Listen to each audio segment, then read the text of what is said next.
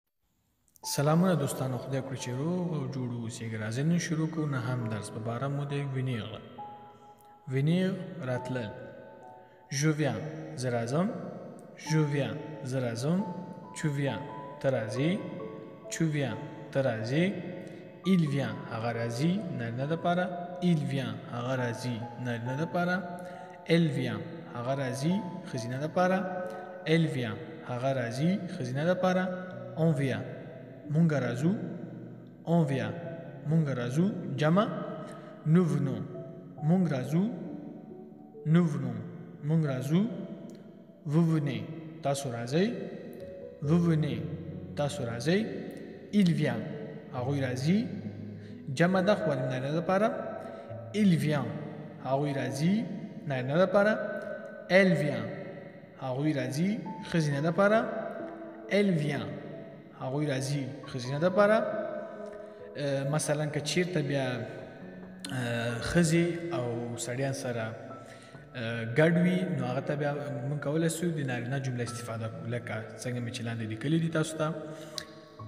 il vient هغوی راځي il vient هغوی راځي نارینه او ښځینه لپاره ښه دوستانو وینیر د راتللو فیل تل کېږي لکه څنګه مې چې مخکې تاسو ته ویلې اوس راځو د وینیر په د فیل په باره کې چې دا اوس جملې جوړو نو د دې نه ټولو نه مخکې باید چې په کوم هغه سره جملې جوړیږي باید دلته پورته لیکلي تاسو ته شې د ا اویک او ایکسټرا مثلا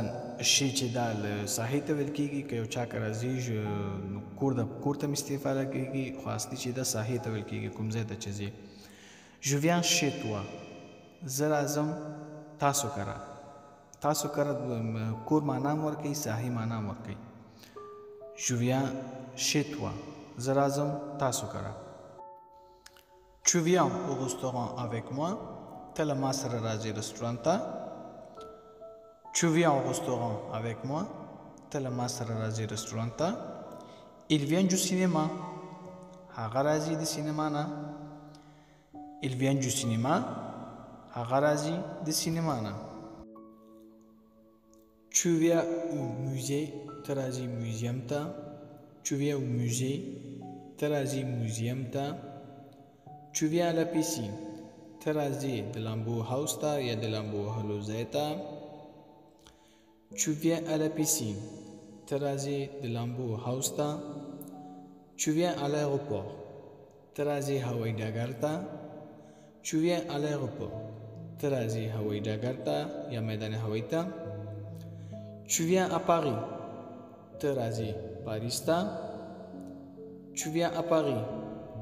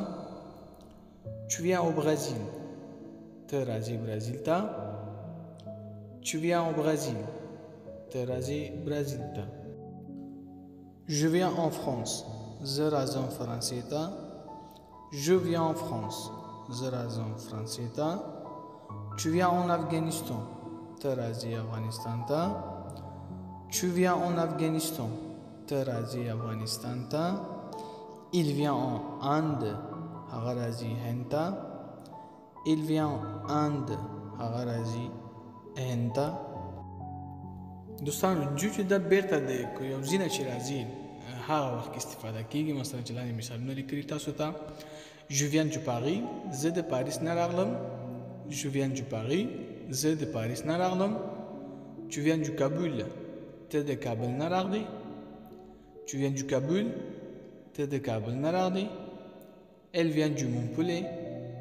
هغه د مونپولې نه راغله د فرانسې یو ښار نوم دی مونپولې ورته ویل کېږي ال ویان جو مونپولې هغه د مونپولې مونپولې نه راغله اون ویان د افغانستان مونږه د افغانستان نه راغلو اون ویان د افغانستان مونږه د افغانستان نه راغلو ښه دوستانو فرانسوي ژبه چې دا په مؤنث او مذکر باندې جوړه شوې ده په هر هر فعل کې چې دا مؤنث مذکر لري لکه څنګه چې اوس دا ملکونه هم تاسو ته وایم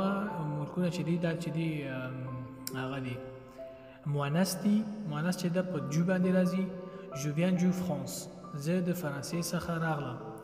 Je viens du France، زه د فرانسې څخه راغلم. Tu viens du Belgique، ته د بلجیم څخه راغلې. Tu viens du Belgique، ته د بلجیم څخه راغلې. Il vient du Malaisie، هغه د مالیزیا څخه راغی. Il vient du Malaisie، هغه د مالیزیا څخه راغی. دوستانو دغه دی اپاستروف چې دا دا هغه وخت کې استفاده کولای شو چې کوم ملک په سر کې واول حروف راشي لکه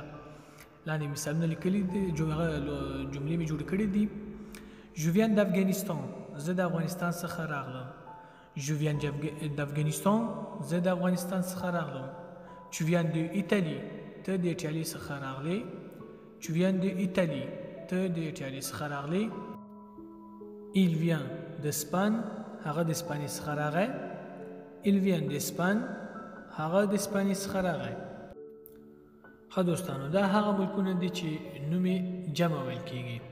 لکه ژووین دي زیتازوني زه د امریکا څخه راغلم ژووین دي زیتازوني زه د امریکا څخه راغلم چووین دي پیه با ته د هالند څخه راغلې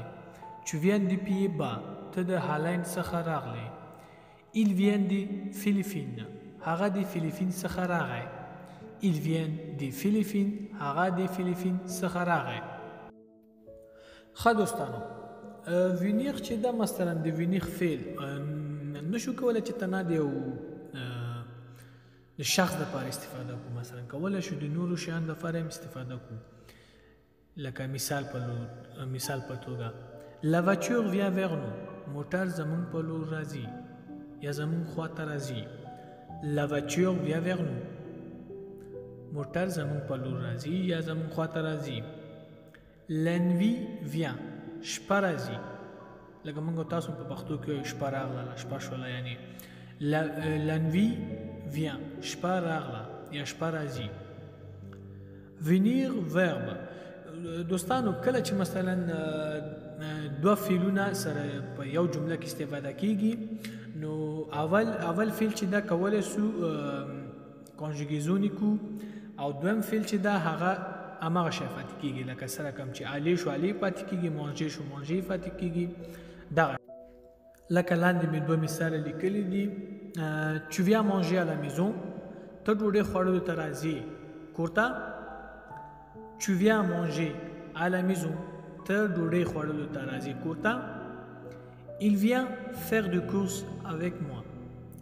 هغه راځي له ما سره سودا کولو ته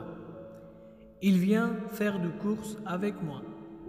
هغه راځي له ما سره سودا کولو ته ښه دوستانو د وینیر دو ورب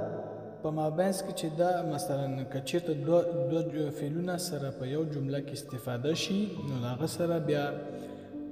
که یو دو په مابینس کې راشي نو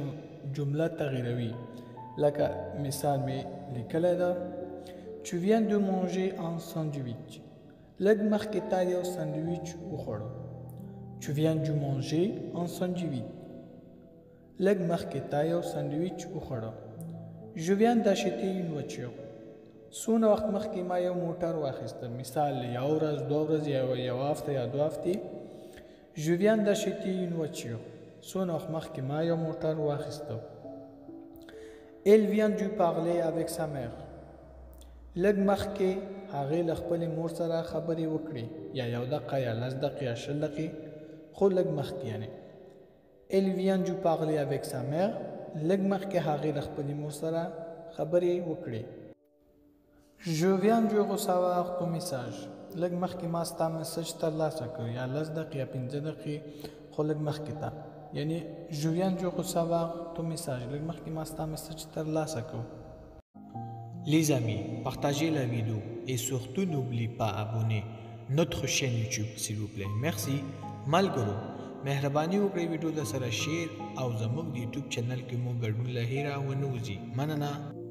که چیرې مو ویډیو خوښه شوې وي نو لایک او شیر یې کړئ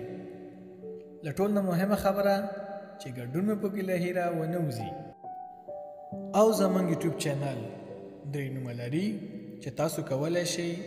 دغه درې نومونه نه چې هر یو نوم په یوټیوب کې ولیکئ تاسو کولی شئ چې زمونږ ویډیوګانې ترلاسه کړئ Apprends le français et la langue en pashto فرانسوي زده کړه په پښتو ژبه ولی محمد شیخ زاد دا فرانسوي زده کړه په پښتو ژبه کولای شئ تاسو د فیسبوک د لارې نم زمونږ درسونه تعقیب کړئ فرانسوي زده کړه په پښتو ژبه مننه